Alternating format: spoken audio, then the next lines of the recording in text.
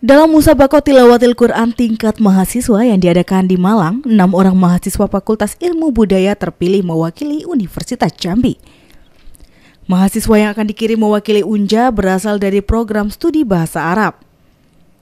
Kegiatan MTQ ini akan dilaksanakan selama lima hari pada akhir Juli nanti. Para peserta akan diberangkatkan pada Jumat 28 Juli 2017. Dekan Fakultas Ilmu Budaya Universitas Jambi Profesor Yundi Fitrah mengatakan, para mahasiswa yang dikirim dapat memberikan kontribusi yang signifikan bagi Unja. Dirinya meminta persiapkan diri dengan sebaik mungkin agar nantinya diharapkan dapat mengangkat nama Universitas Jambi di event nasional. Hal ini juga untuk menciptakan generasi muda berbakat, bukan hanya dalam lomba, melainkan dalam kehidupan bernegara. Mei gitu kan? Iya Nah, sejak itulah dua tiga bulan ini mereka ini memang dilakukan ya pembinaan. Pembinaan itu kan merupakan suatu persiapan yeah. untuk MTQ tingkat nasional kan gitu.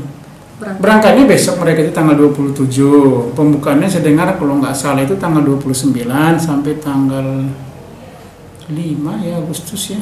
Pembinaannya betul memang ada itu dilakukan itu berbagai macam bidang perlombaan kan ada yang sabakonya, ada yang hafalan, ada yang macam-macam lah itu.